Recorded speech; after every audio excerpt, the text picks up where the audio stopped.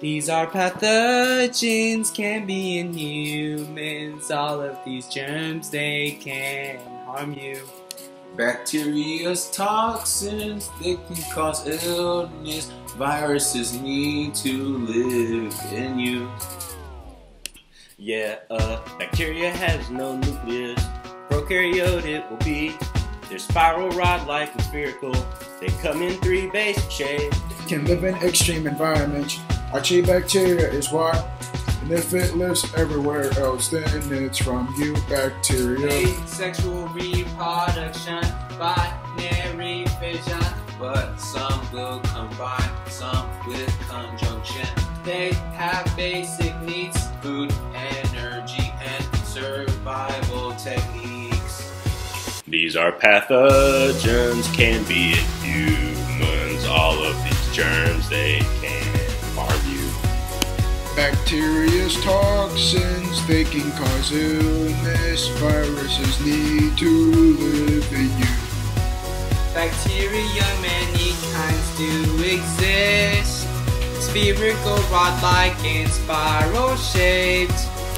Viruses invade cells, then kill it.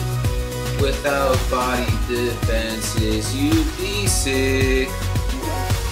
Oh, viruses, they are non-living, invade and reproduce in cells, measured in nanometers, because they're so very small. Can be round, brick-like, or bullet.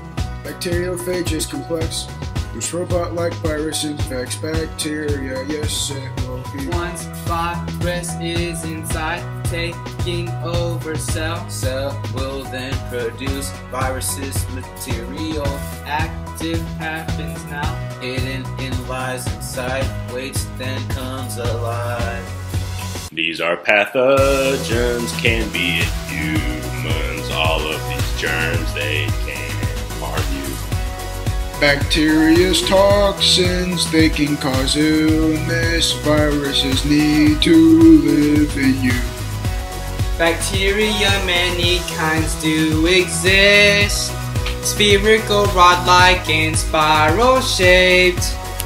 Viruses invade cells, then kill it. Without body defenses, you'd be sick.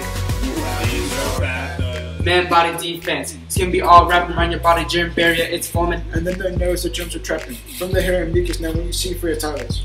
Keeping the germs out of your eyes, they are helping. Cleaning for your eyes to tear up or whatever you call it. Switch to the ears and the canal, germs will also grab. Stomach killing germs will feed the hydrochloric acid. Swish in your mouth and in your throat. Tonsils and adenoids they be killing a lot. So we talked about who's he at the top, but now we look inside to find the germ destroyers. Spleen fighting, white blood cells indoors. Moving to the blood come germs is what they're for. Monocytes on the hump, engulf and trap lymphocytes coming from lymph nodes. These are pathogens, can be in humans. All of these germs, they can harm you. Bacteria's toxins, they can cause illness. Viruses need to live in you.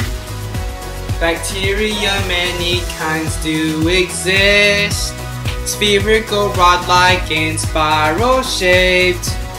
Viruses invade cells, then kill it. Without body defenses, you'd be sick. Now these are pathogens. That was